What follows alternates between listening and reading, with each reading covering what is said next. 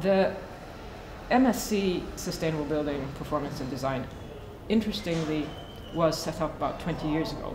There were only a handful in the UK, and the one at Brookes, which at the time was called um, MSc uh, Energy Efficient Buildings, was one of the very few that offered this. So, in a way, this course is a pioneering uh, course uh, in, in, its field. The name of the program at the moment, Sustainable Building Performance and Design, comes from the uh, fundamental idea that you have to understand how buildings perform before you can actually design something that will be successful. Since studying here, my thoughts of the course have actually changed. I came with high hopes, but the course itself has actually exceeded them. One of my original apprehensions about doing a master's was that it would be too academic, but I feel coming here in this course, I've actually increased my skill set as well through some of the modules we've done.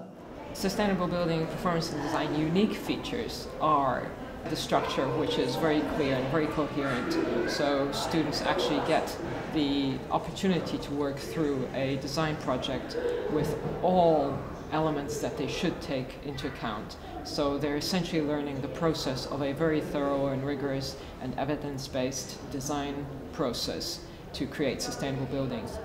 I rate my tutors very highly. I feel they've been very supportive throughout the year, both academically and also someone to talk to when the going's got tough. So the course is actually closely linked to the research that takes place in the department. Um, all the staff that teach on the course are research active. We have, for example, uh, Professor Rajat Gupta, that is running the Oxford Institute of Sustainable Development. He teaches on the post-occupancy evaluation course, and a lot of his research is post-occupancy evaluation. So there's a very close link between what the staff research and what we teach. I feel my studies have greatly increased my employment prospects.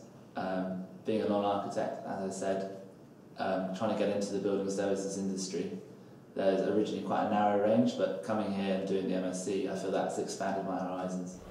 So when our students uh, finish and graduate, we find that they tend to go into one of probably three areas. One obviously is if they're architects, they go back into practice and then take on a much more um, perhaps senior role in terms of sustainable um, consultancy or sustainable design. If there's another strand which is really people who perhaps are not uh, practicing architects, then with all that background they can actually act as consultants. And then the third strand is very much research. Uh, a number of our graduates are actually working now in Brookes or have worked in Brookes uh, with our research groups and they also go elsewhere to undertake PhD research or are employed as researchers uh, in their own rights. So those are the three main areas. During my time at Brookes, I felt a very uh, supportive and encouraging atmosphere, encouraging to learn and get involved. There's been a lot of field trips on offer if you want to. It's really just how much you want to get out of this course. There's no limits to where it can go.